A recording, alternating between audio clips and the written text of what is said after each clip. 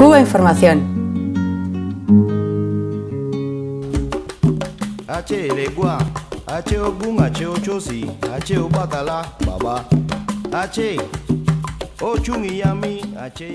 Pues bueno, este fin de semana hemos hecho un, un evento un poco estilo jornada, ¿no? Eh, de dos días. El primer día eh, se ha celebrado, como otras tantas veces, un consulado itinerante. Eh, consideramos que hasta el momento ha sido uno de los más exitosos que se ha hecho en todo el territorio español. Este consulado, como siempre decimos, es un servicio más que está dando el, consulado de Cuba a, a todo lo que es la inmigración cubana que además son, son cosas que hemos podido ir logrando por, el apoyo del movimiento asociativo que, hay ahí más o menos hace aproximadamente 10 años en España y que bueno, nos hemos tomado la tarea un poco también de estrechar lo que son las relaciones de, trabajo, ¿no? Con eh, nuestros funcionarios en este sentido, en el sentido de que la inmigración se siente un poco atendida, que se sienta eh, apoyada, se visibiliza que hay una constante preocupación por todo lo que es eh, estar más informado sobre el acontecer que, existe ahora mismo en Cuba, sobre los planes que se están llevando estratégicos con el tema del desarrollo económico, porque bueno, muchas personas un poco informar, ¿no? Han aprovechado que están los funcionarios aquí, se han acercado con sus dudas, sus inquietudes. La preocupación también que hay sobre el cumplimiento de la, de la anterior ley migratoria que se aprobó hace dos años ya. Se ha ido demostrando que bueno, que como una otra ley cualquiera del país, pues está surtiendo efectos, tal es así la, cantidad de,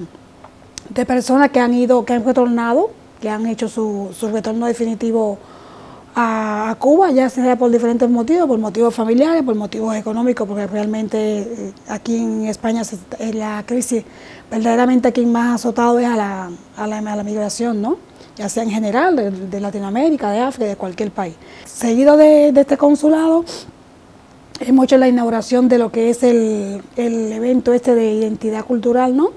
Pero en este caso hemos querido eh, enfatizar el tema de lo que es la, el proceso eh, religioso en Cuba y más que nada eh, y hacer hincapié en todo lo que es la religión yoruba en la formación de la identidad, de la identidad cubana. El evento le, tiene el nombre de lo que entre congos y carabalís, ¿no? Como dijo nuestro poeta nacional Nicolás Guillén, el que no tiene en Cuba de Congo tiene de Carabalí, como diciendo, los que no tenemos de una sangre o de una raza, tenemos de otro y los que no hacemos una cosa, pues hacemos otra, porque lo traemos en nuestros ancestros, en nuestra idiosincrasia. Hay, hay muchas personas nacionales que por lo que sea no, entienden o tienen desconocimiento